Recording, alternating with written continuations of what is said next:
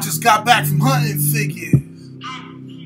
Shopping bags, crazy finds, bitches. Look at me, I'm a geek, tripping future waves. I will be copying you art, small legends, dudes doing them reviews, fella. What's going on? It's your boy Devil's Due, and you know I got it, so subscribe. What's going on? It's your boy that was doing. Today we're doing another action figure review. Today we're looking at my custom Marvel Legends Mr. Sinister figure. I don't know. I just came. It just hit me one day. We need an updated Mr. Sinister. The Toy Biz figure was nice for its time. But if you really think about it, he's too tall. He's oddly shaped.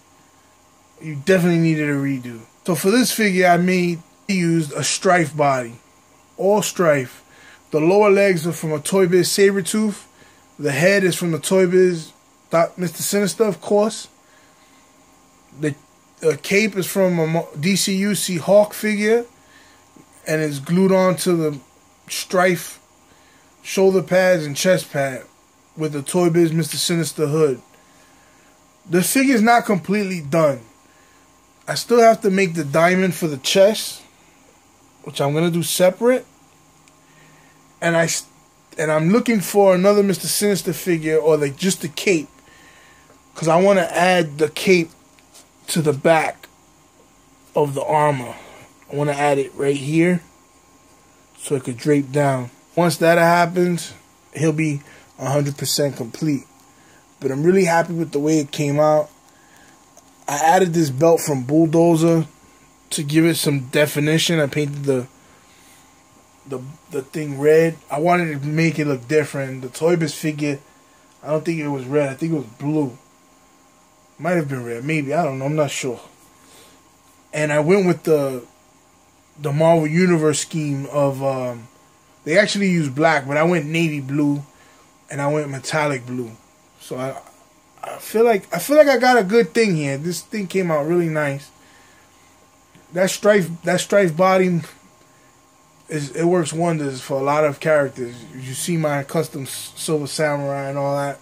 Really happy with the way it turned out. Can't wait to get the cape part so I can finish that up and make it look that much better. But for for what it is right now at this point in time, looks really sick, man.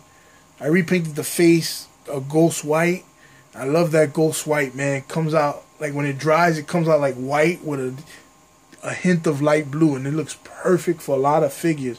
I use it on my Mystique. I use it on this one. I use I use it on almost all my figures. I I barely use plain white. It's always a different kind of white. I use like like for the Black Spider Man again. I use the pearl white and stuff like that.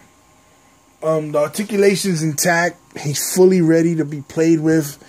His head goes up, down, side to side. I gotta fix the head. It, doesn't fit on the ball joint that too tight, so it pops off easily. He got ball his shoulders, bicep suit, double jointed elbows.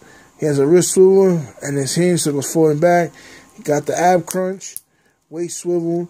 His legs go out that much, upper thigh swivel, double jointed knees, calf swivel, and his ankle pivots forward and back. And he has toe articulation. And he definitely need he needs he's gonna need another coat of paint beforehand. But this is how he looks, man. I really like the way he came out. I'm really happy with him. He looks good. All I got to do now is a nice custom apocalypse. But I'm trying to hold out because I'm thinking we're going to get an apocalypse from that X-Men wave we're supposed to be getting soon. Hopefully Toy Fair reveals something. So that's the review on this guy. Hit the like button if you're feeling it. Leave a comment. Subscribe if you haven't. Like my Facebook page, find my Instagram and Twitter. Let me know what you guys think about this custom. You already know. It's your boy Devil's Due.